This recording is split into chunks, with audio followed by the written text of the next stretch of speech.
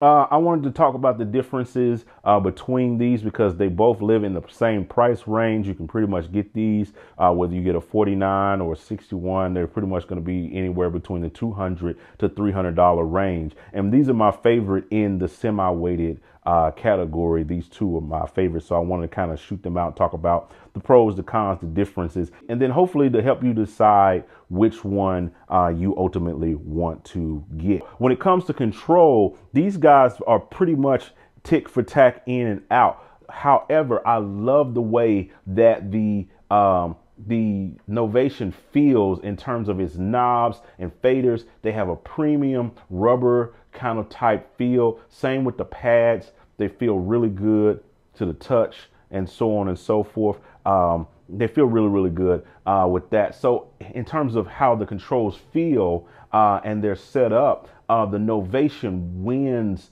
to, to me in terms of the feel because I love the feel of these. They're quiet. I can hit them. I can press my play button, my stop button, and it doesn't make noise. Whereas on the M Audio, it's clicky, clicky, clacky, clacky, clicky, you know, so forth with all of your particular um, uh, buttons and stuff. And the knobs don't have as elegant of a feel as the Novation does. Uh, so it all boils down to that. Uh, these are very noisy. Of course, the knobs don't make you know make noise, but the uh, the buttons do. You know whether you're pressing the arp button or whatever, you're getting noise. Whereas these are soft buttons, and they kind of got a premium feel to it. Now, the, depending on how you like your layout setup, um, you know, it could depend. So, you know, you got your pads right here. Typically with um uh with you know most MIDI controllers in this range, they'll put the pads over here in the um faders over here, kind of like how M Audio has it, you know, laid out. Um, but they decided to go a route where they put the pads over here and the uh, faders and everything over here. So you can kind of look at that and make your determination about which layout you like.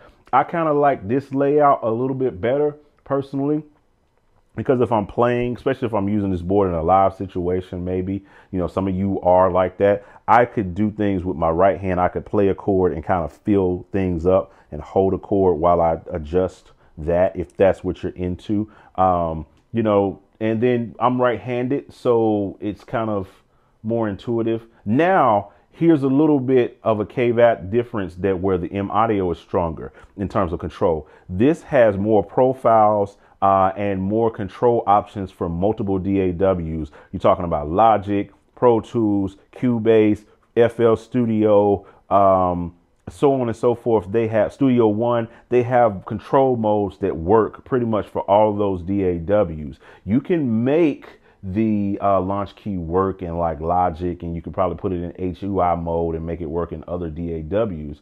But it is primarily geared and set up for those who use Ableton. So if you use Ableton, this is going to be the one that's going to really win for you. Um, and then this one gives you a more cross DAW appeal. This one appeals to me uh, better in that area because I use multiple multiple DAWs. I use Logic, I use Ableton, I use Studio One, I use Pro Tools. So I could be bouncing between any of those DAWs on any given day.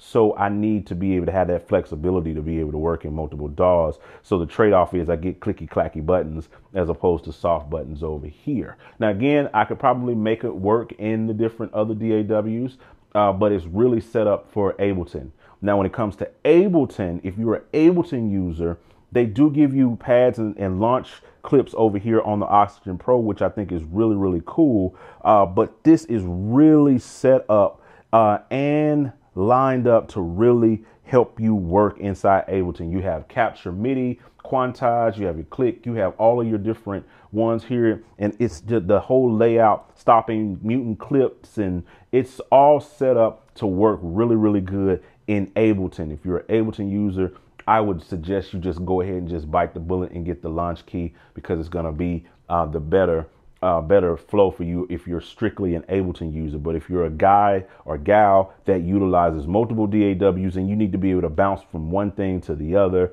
uh, or you need a you know something that works really good with Logic, really good with Pro Tools and other DAWs, this is probably going to be your best bet on the M Audio. So another thing with control with both of these is the same is you're getting a chord mode, a arp mode, and a scale mode that just comes you know, and I talk about those in each one of these videos, and I to demonstrate them in both the uh, the initial reviews of these particular ones and how they work. I will say that to me, the implementation of ARP and scale and fixed chord mode is a little bit more elegant on the uh, Launchkey as opposed to here, but you do get a little bit better feedback on the screen from uh, the M audio, just from you know my perspective. Uh, but they both kind of do the same thing. So if you're looking for that sort of you know uh, workflow to where you can do your those of you who like those things, scale mode, arp modes, and fixed chords and stuff, uh, they both offer that same uh, level of control. Uh, they're just um, you know they're just different implementations of it. But I like the that you know pretty much better on the Novation. Okay, so now let's move over into the key bed territory. Uh, I know a lot of us make our decisions based on how the key bed feels and how it plays uh, and all those different things like that. And so uh, the key bed, uh, if, if I had to choose one that feels the best, gives you that's more the most responsive, I would probably go with the um, Launchkey. It's probably more a little bit more dynamic uh, than the uh, than the oxygen is. So watch what I say when I say dynamic. So I'll play these chords on the Launchkey. Then I'll play the same chords here on the oxygen. So you see how it's a, a I'm playing the same velocity. And I'm getting I'm getting harder velocities playing on the oxygen versus that. So if you want something a little bit more dynamic, this is going to be your best bet. And especially if you want something a little bit more less noisy, then you're going to go with the Launchkey. So it's got some noise, noise that noise compared to the oxygen.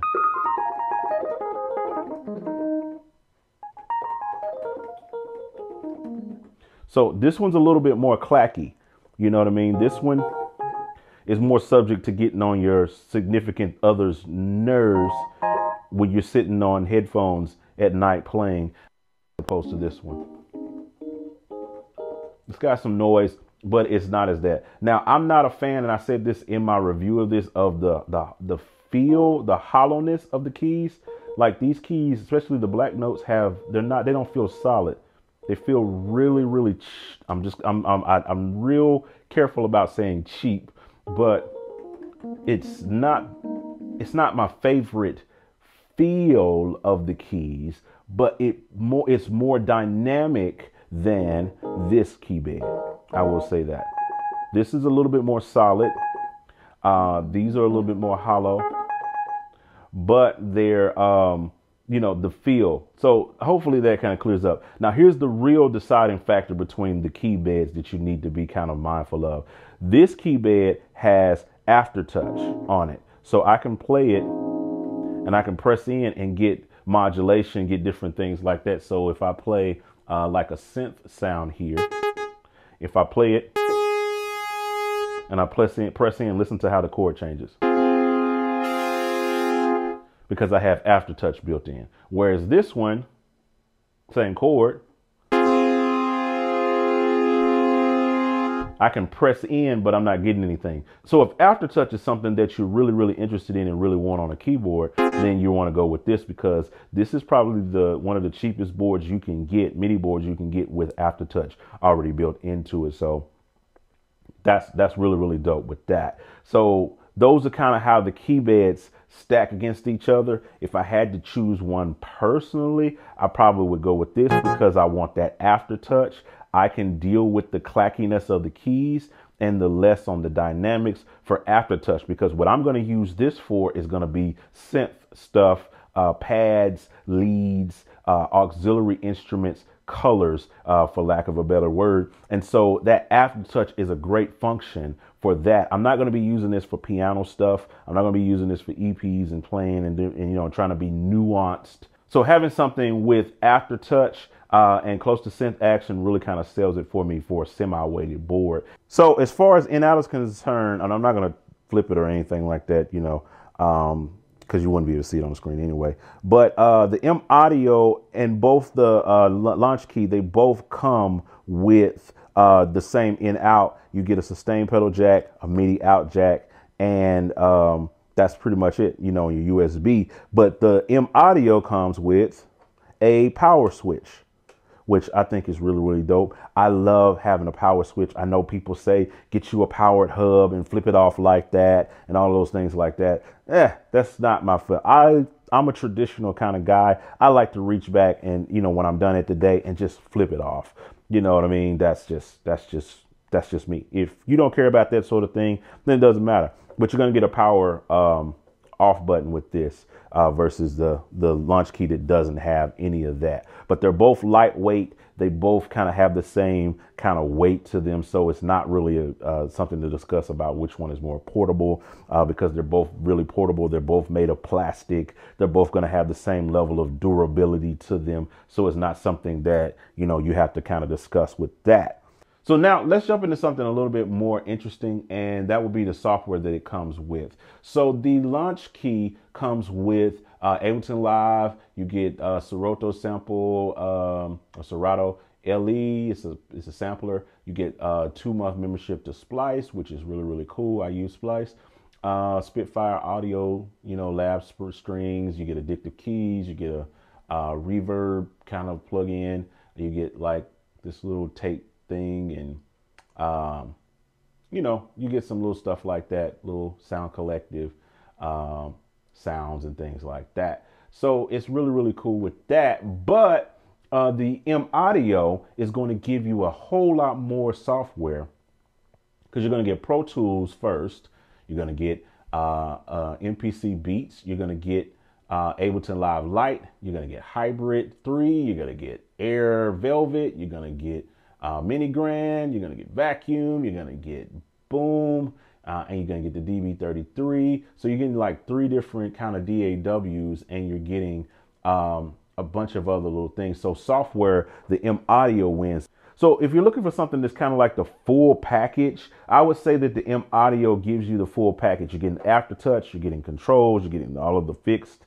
scale and chord modes that everything, you know, all these boards are coming with now. You're getting um, you're getting multiple DAW control. You're getting a fantastic software package that comes with it. Uh, that's where it kind of shines um, in that. And my pick, honestly, between the two would be this one. Now, I always say this: if you're an Ableton user, I have people that hit me up and say, "Man, I use Ableton." I tell them get the get the Novation. If you're an Ableton user, if that's all you're using, if that's your bag, this is going to be the winner uh, over this because it's just a little bit better suited and set up for Ableton. So I hope this video helped you. I hope it gave you some insight into both of these board, boards and hope it helps you make a decision about which one you want to kind of grab uh, and which one you want to kind of use. Because um, I try to try to highlight all of the different points between them. Uh, but you know what you can do. We do this on every video. You can hit the like button, hit the share button, drop a comment below. Let me know what you guys think, which one is your favorite. If you've got experience with either one of these, I want to hear from you. Uh, do all those things that you do on the video. I'll talk to you guys on the next one. Oh yeah, I didn't say this. Subscribe, turn on notifications, hit the bell, all that stuff like that. I'm out. Holla at your boy.